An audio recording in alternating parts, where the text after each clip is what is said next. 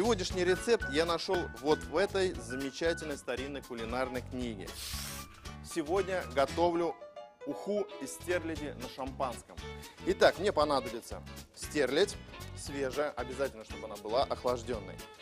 Затем картофель в мундире и морковь в мундире. Ну и, конечно же, самый главный ингредиент – это шампанское.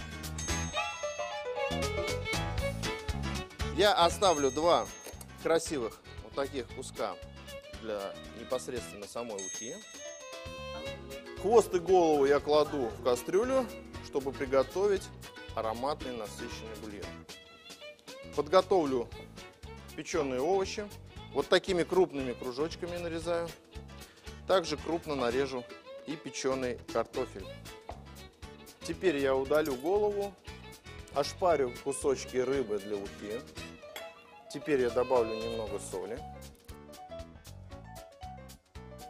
Выкладываю морковь и картофель. Затем готовую рыбу я сразу же выкладываю в тарелку. Оставшийся бульон процеживаю.